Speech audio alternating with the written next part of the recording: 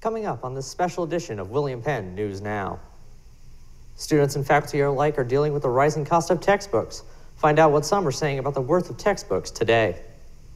Living on or off campus has been a debate for many students as they try to figure out where to live for next semester. Find out the costs and benefits of both. And some students are having to balance the demands of college and working or playing a sport to help pay for their education. Find out how some students are handling the stress of both. These stories and more are coming up right here on William Penn News Now.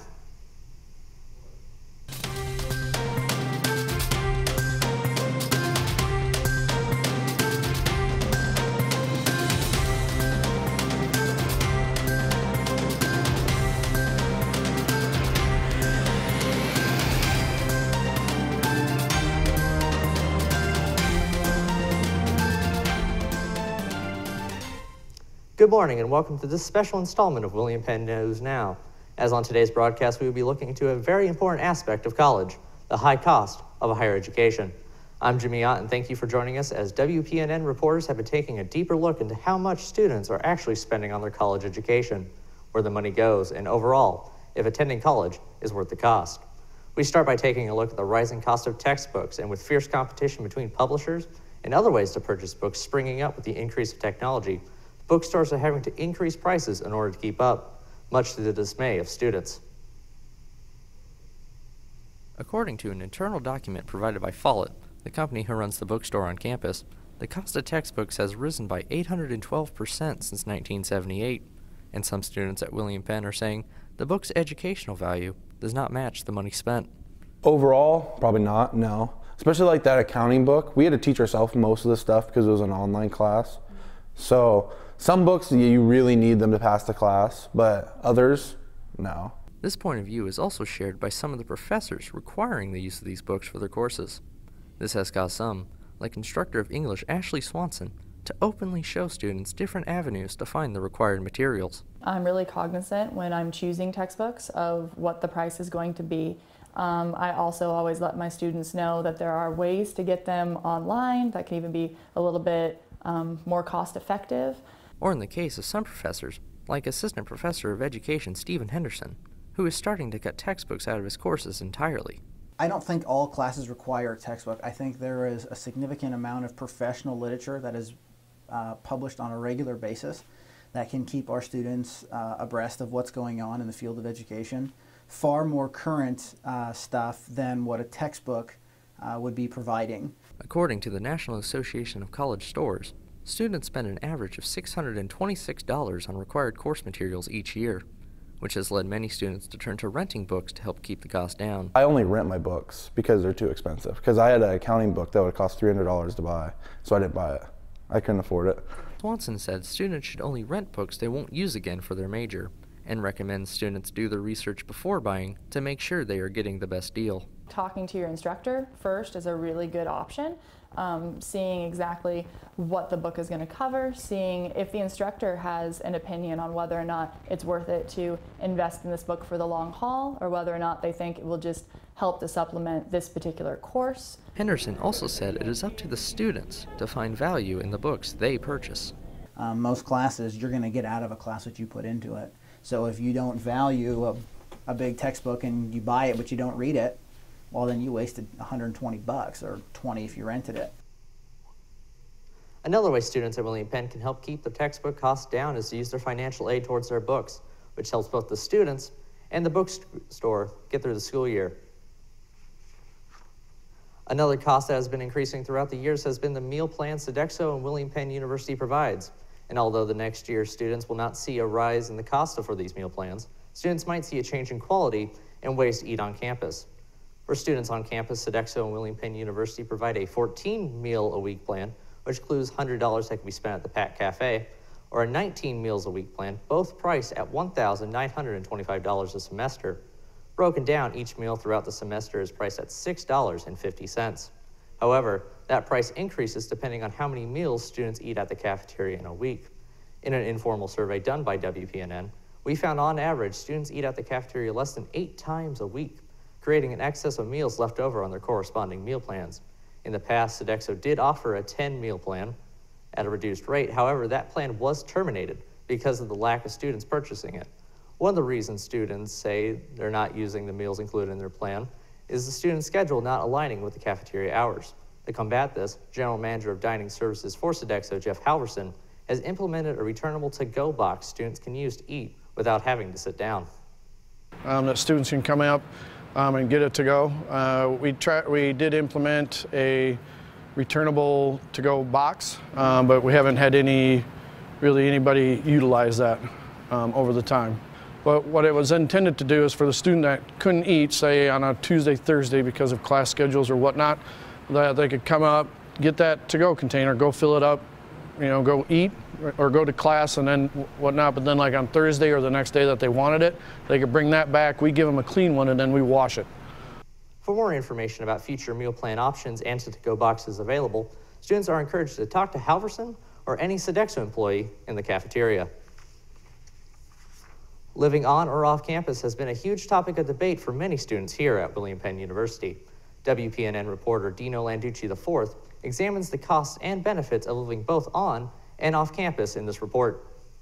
When attending college, deciding to live on or off campus is a major decision when looking at the costs for each.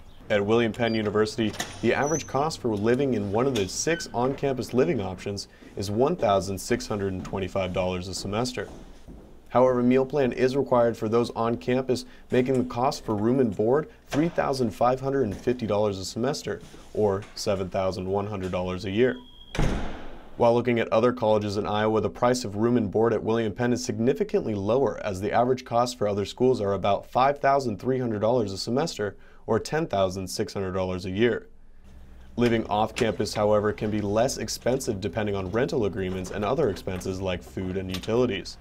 According to an informal survey done by WPNN, students that live off campus on average are spending $6,465 a year, making off campus living more cost effective by about $600. Coy Russell, a senior who lived on campus his first year at Penn but has since moved off campus, explains his reasoning for making the move. The main thing was money and um, more uh, of the the meal plan because I wanted to be able to cook my own food and be able to really watch what I eat and I can control that. And being an athlete, nutrition is one of the biggest parts. So if I can control my nutrition um, and I know exactly what's going into my food, then that was kind of the big thing. However, although on-campus living is a little more expensive, Vice President for Enrollment Management Kira Strong explains some benefits to living on campus. I think that especially for young you know, the students coming in as a freshman, um, to be required at this point to live on campus, I think is really critical to them becoming involved on campus and um, understanding the resources available to them. Um, you know, a lot of colleges do have that requirement that at least first-time freshmen must live on campus, and it's for that very reason. It's that being able to know your university on a better level, um, get integrated into the processes and procedures of what it's like to be a college student, and provide some structure so that um, students can can be most successful as they can be that first year. Overall, living on campus is a cheaper option for students who are able to pay rent and utility fees monthly. However, the benefits of living on campus are why some students that are able to move off campus are staying right here in the dorms. For William Penn News Now, I'm Dino Landucci IV. It comes as no surprise that college tuition has been increasing since the 1980s. However, according to a report from College Board, a nonprofit organization created to expand access to a higher education, Private universities are increasing their tuition and fee prices at a slower rate in recent years. From 1987 to 1997, the price of tuition and fees increased on average by 3.1%. In the next decade, tuition and fees increased by 2.9%, and from 2007 to now, tuition and fees increased by only 2.4%. Although tuition costs are rising, the rate at which they are rising has been decreasing throughout the decades. William Penn University is no exception to these increases, as Bonnie Johnson, Vice President for Financial Operations, explains why William Penn University's tuition will be increasing for the next school year by roughly 2.5%.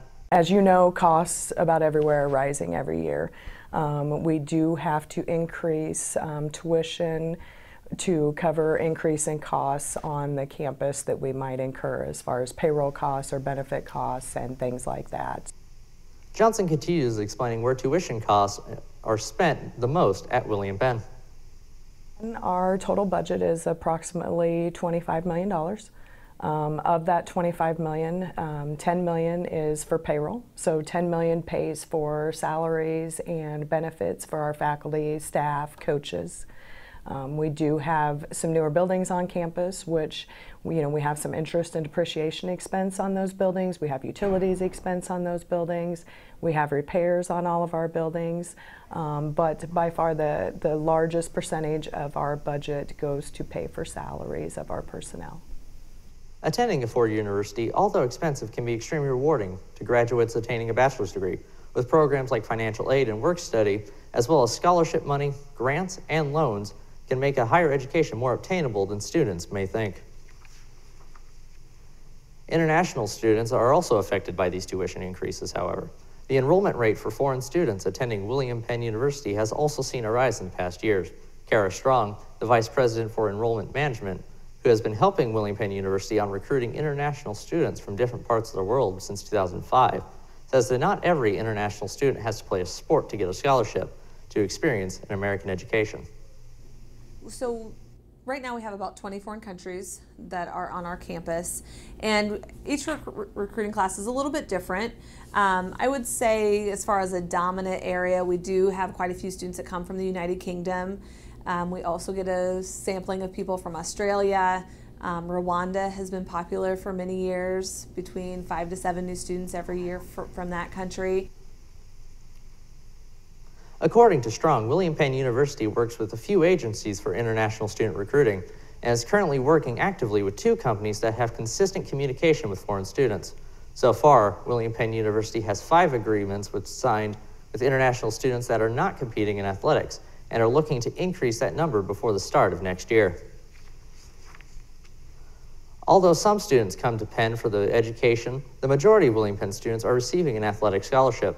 However, some are no longer participating in the sport they play. Mason Schrader has the details on how keeping athletic scholarships allows students to continue chasing their dreams of a higher education. Approximately 72% of William Penn students receive athletic scholarships. However, students who no longer wish to participate in a sport can still be awarded scholarship money. Vice President of Enrollment Management, Kara Strong, says William Penn's philosophy is to give students an affordable opportunity at an education. You know, our philosophy has been just overall, Archington University is opportunity, and a big part of that opportunity is being able to afford the education. So if a student no longer wants to participate or can't physically participate in an activity and they want to stay and be a good citizen and get their degree, then we don't want to create a, a barrier financially that they can't continue. Markeisha Yarbrough, a former William Penn dancer, is able to continue her education at Penn by keeping her scholarship after deciding to focus more on academics and less on dance. I wasn't dancing because I just didn't feel like it anymore. It was more so I have an internship now. It's my senior year. I'm trying to, you know, work and do other things and get more involved. And so it was more so of me not quitting because I'm tired and I'm lazy. It was more so I'm trying to help and, you know, develop for my future. And so they did let me keep my scholarship.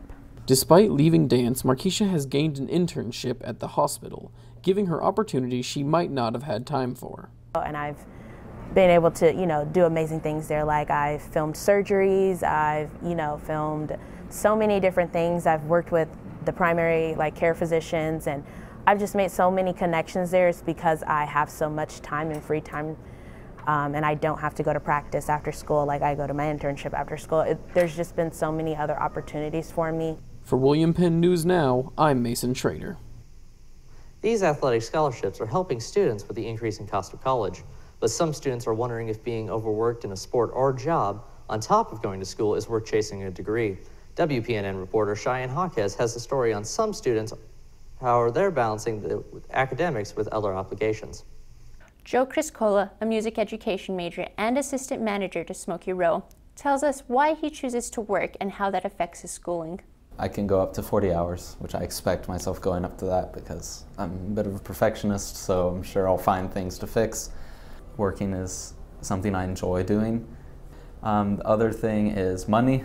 I have to afford to be able to live off campus, provide food, and also pay off um, bills. On top of work, Joe is very active in Penn's music program. and explains the standards that he is held to and how it's much more work than what people might think. Uh, yes, because my field is so different even from what other education majors are doing because we have those ensembles that we have to be in. It's not like we get a choice. It's, and I think people don't realize how much practice time goes outside of music.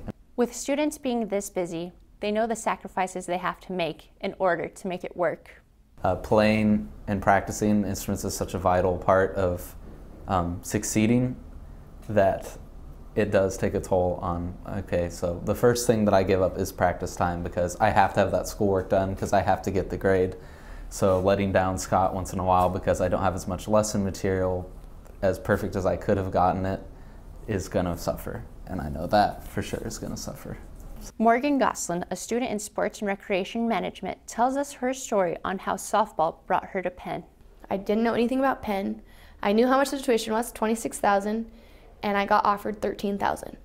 Okay, that's 50%.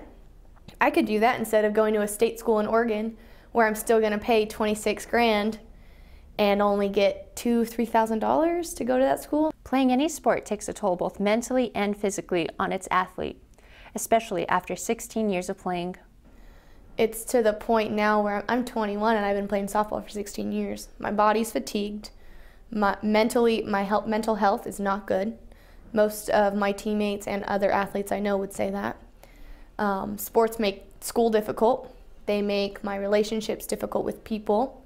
I can't support myself. I keep having to call my parents for money. I'm 21 years old. I have a job, I play college softball, and I go to school. Like Morgan may have come to William Penn to play softball, but she has been improving academically and learning to let other things go. Um, I feel like education is super important, especially in our generation, because we're in that mix where like, okay, like college is really important, mm-hmm. but is it really worth it because of the loans and money? And for Penn, like I love my professors, I love the school. I have an internship with our athletic director. That's what I want to do in sports management. However, the dedication I have to have to softball is beyond anything I've ever had to do. For WPNN, I'm Cheyenne Hawkes. Although earning a degree while working or playing a sport is extremely hard, once students have that degree, they need to find a place where they can use the knowledge gained during college. WPNN spoke with Career Service Coordinator Debbie Stevens to see what fields are most in need of college graduates. Now, healthcare is really struggling, and they estimate, for instance, 253,000 jobs just in software developing over the next uh, two to three years by 2020. And but with all of the physician assistants and everything, they have they make more money than usually a software developer over a hundred thousand up to some of them make 200 and some thousand a year. Stevens also said employers are constantly on the lookout for potential employees with the ability to make tough decisions. Learn how to uh, solve problems or troubleshoot somewhere those are highly sought after skills if you can make a decision i've had a, a an employer the CEO of Musco long ago mentioned that he wants people who can make decisions because he he's running a business. He can't make every decision for every single department and he's, you know, he can't do that. That's why you hire people that can do those things and help you. What happens if you make a bad decision? You look at it, see what you need to do to uh, fix it, and you go on. If you are looking for an internship or just need to be pointed in the right direction of your dream job, Stevens said it's never too late for students to come to the Career Services. Their office sits on the second floor of Penn Hall, room 220.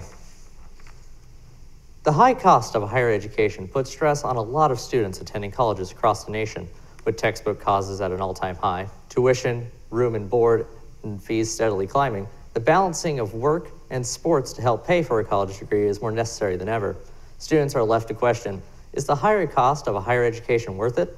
As they start to enter the workforce, William Penn President John Ottosson has some reassuring words for those students still questioning the price of a bachelor's degree.